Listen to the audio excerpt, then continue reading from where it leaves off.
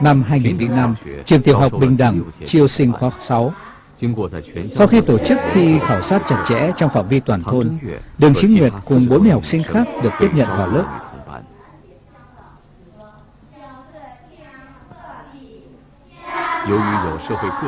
Được các ngành các giới xã hội tài trợ một cách vô tư, lớp nữ bình đẳng đặc biệt này rất được ưu đãi.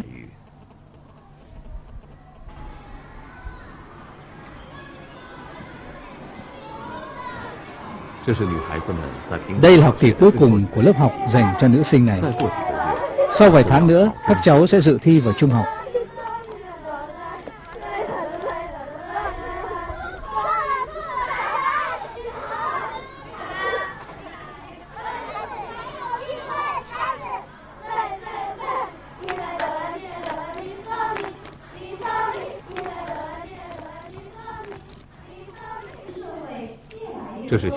Hôm nay, họp lớp lần đầu trong học kỳ mới lại trùng vào ngày quốc tế phụ nữ mùng 8 tháng 3.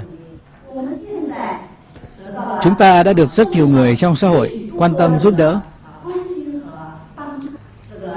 Chủ đề buổi họp mặt hôm nay là về các em gái. Về nữ giới, chúng ta trước tiên sẽ xem một bộ phim Bộ phim chiếu cho các em xem kể về các em gái miền núi. Vì nhà rất nghèo, một trong hai chị em buộc phải thôi học. Ở nhà phụ giúp gia đình làm nghề nông. Người chị đã nhường cơ hội học tập cho em. Cô em đã phấn đấu học tập, rồi thi đỗ vào Đại học Bắc Kinh. Trong thực tế, có rất nhiều nữ sinh đã trải qua như vậy. Gia đình cô giáo chủ nhiệm có ba chị em. Nhà không thể thu xếp để cả ba cùng đi học. Hai em gái cô giáo đã phải nghỉ học, đi làm giúp cô được ăn học. Và sau đó tôi đã thi đỗ vào trường sư phạm. Em út của tôi học lớp 6. Em thứ hai của tôi chưa học hết cấp 2, đã phải nghỉ học.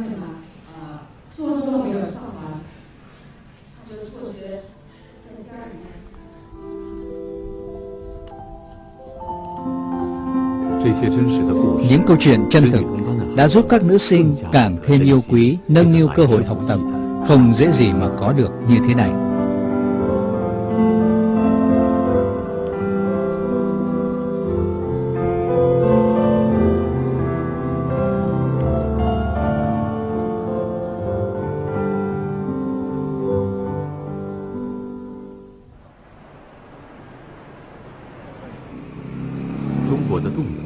Người dân tộc Đồng Trung Quốc là dân tộc có nền văn hóa lịch sử độc đáo.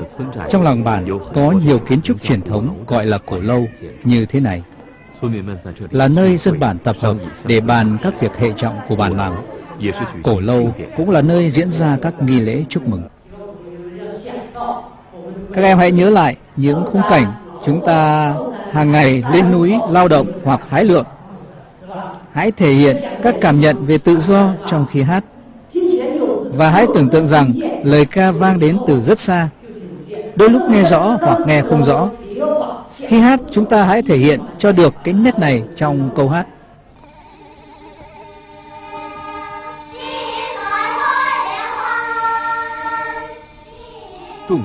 Đại ca dân tộc Đồng là hình thức diễn sướng dân ca nhiều bè của dân tộc Đồng rất nổi tiếng ở Trung Quốc. Ngôi nhà cổ lâu cao nhất của bản người đồng sắp hoàn tất. Các học sinh lớp nữ bình đẳng sẽ hát bài ca này trong buổi lễ khánh thành.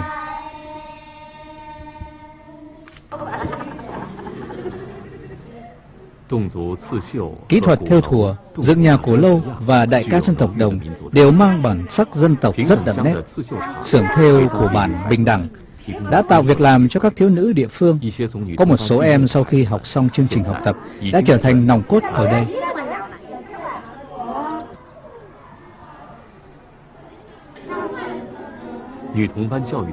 Một trong những nội dung giáo dục của lớp nữ bình đẳng là học tập các kỹ thuật truyền thống dân tộc. Các em không chỉ học các môn toán lý, mà còn được học nữ công và âm nhạc nữa. Gia đình các nữ học sinh đều ở trên núi, nên đều phải ăn ở ngay tại ký túc xá trường. Ngoài giờ lên lớp, các em đều sinh hoạt ở đây.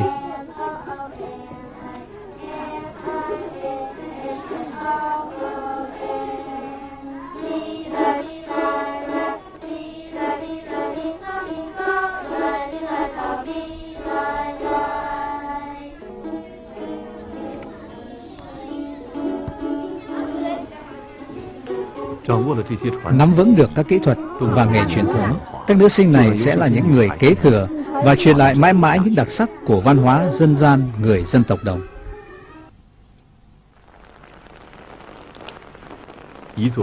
Hôm nay, nhà cổ lâu mới đã khánh thành.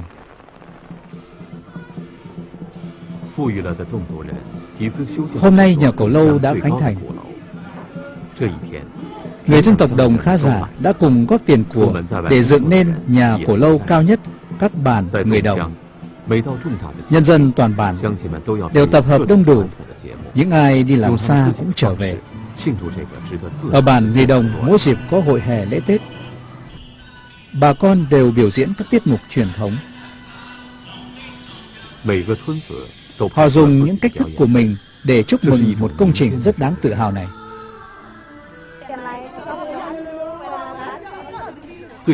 Mỗi thôn đều cử ra đội văn nghệ của mình. Đây là một niềm vinh dự. Đáng chờ đợi nhất là tiết mục của các nữ học sinh tiểu học bình đẳng biểu diễn đại ca dân tộc đồng.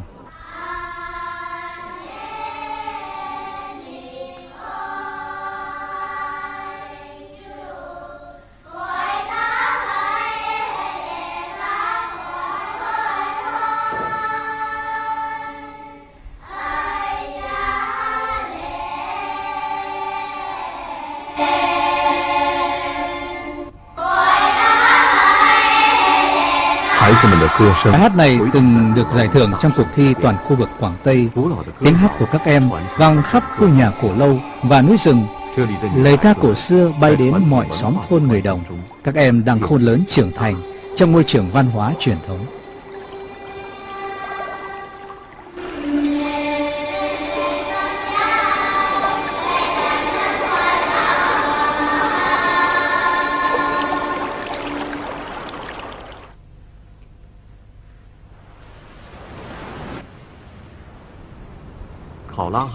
Bãi biển Khao Lak là điểm du lịch nổi tiếng của phủ Phang Nga, miền Nam Thái Lan. Trận sóng thần năm 2004 đã tàn phá nơi này thật ghê gớm.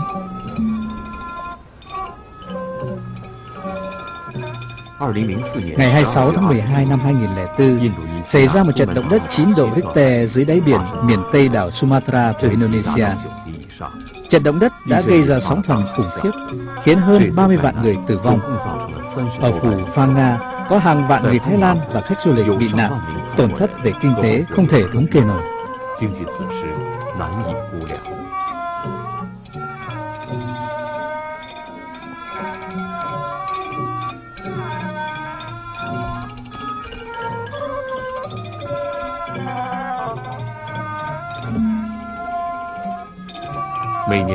Hàng năm, vào ngày 26 tháng 12, phủ Pha Nga đều tổ chức truy điệu cúng tế vong linh những người tử nạn. Bà Noi 47 tuổi đã từng là chủ của hai làng du lịch bên bờ biển Khao Lắc. Trong tai nạn sóng thần ấy, gia đình và các nhân viên cả thảy vài chục người đã không may tử nạn.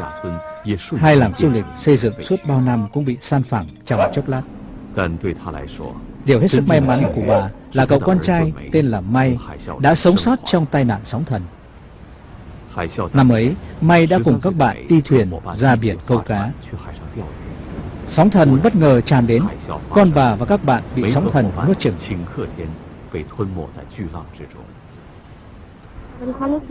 Tôi nghĩ mình không thể chết như thế này. Nhìn quanh chỉ thấy một màn đen kịt. Tôi nói phải đi tìm con tôi Thì họ bảo con bà ở đâu Họ chỉ ra xa tít và nói là không một ai có thể sống sót Nếu tôi chết thì mẹ tôi sẽ ra sao đây? Tôi nói với họ Không con tôi không thể chết. Chắc chắn nó sẽ còn sống. Tôi rất tin ở điều này. Tôi tin rằng con tôi sẽ trở về. Tôi dần dần chìm nghỉm. Rồi về sau thấy chân chạm đất Và tôi hiểu rằng mình chưa chết. Thế là tôi cố ngoi lên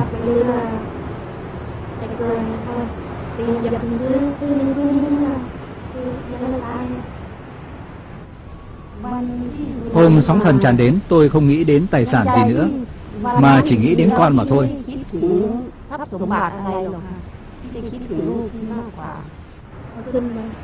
Các bạn thì ở ngay gần tôi, Chỉ một quãng như từ đây đến người phụ nữ kia.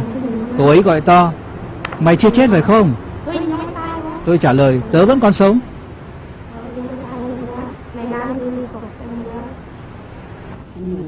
Đúng là chuyện thần kỳ. Nó và cậu bạn vẫn ở bên nhau Và không đứa nào bị thương cả. Sau khi xuống núi Thì tôi gặp mẹ. Mẹ tôi đã khóc. Sau đó đưa tôi đi viện. Tôi chỉ bị xây sắt nhẹ. Tôi như một chiến binh vừa đánh trận trở về. Sau tai nạn sóng thần, có rất nhiều người đã bỏ miền biển ra đi. Nhưng mẹ con bà Noi cậu May vẫn can đảm ở lại gây dựng lại cơ ngơi.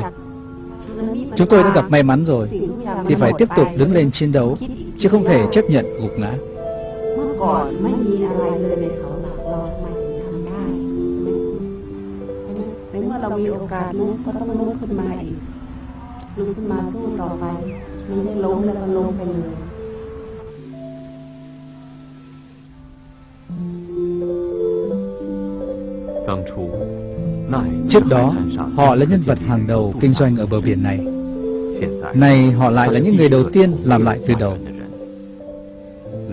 Bà hiểu rằng muốn tái tạo sự huy hoàng ngày trước thì phải phấn đấu hết mình để vượt qua mọi khó khăn.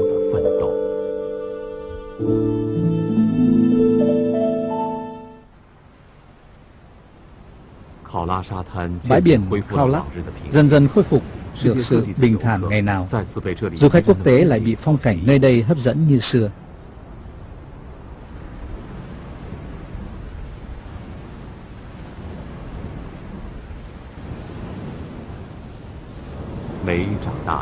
Cậu May đã lớn, bà mẹ kiên cường và tự tin, trở thành tấm gương sáng cho cuộc đời của cậu.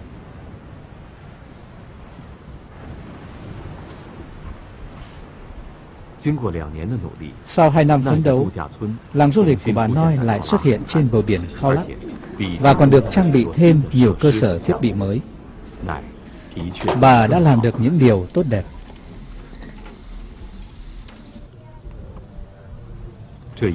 Hôm nay là ngày Noel. Cậu may mua về nhiều đồ trang trí để chúc mừng ngày lễ. Cậu sẽ giúp mẹ trang hoàng thật lộng lẫy cho làng du lịch mới khôi phục này.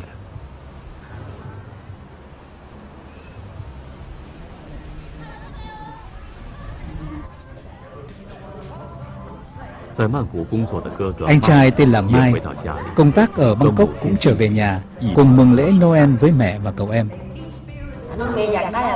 Mai à, con thích thứ quà gì? Ông già Noel sắp đến đấy, con nói mau đi. Thích máy di động cái gì? Được, ừ thì máy di động. Nào, chúc Noel vui vẻ, chúc vui vẻ.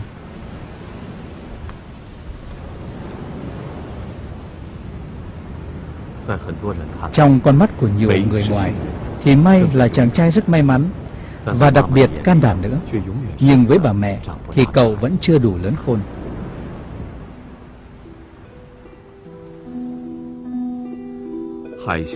Từ sau tai nạn sóng thần Mọi người dân ở bờ biển này Kể cả khách du lịch Đêm đêm đều thả đèn.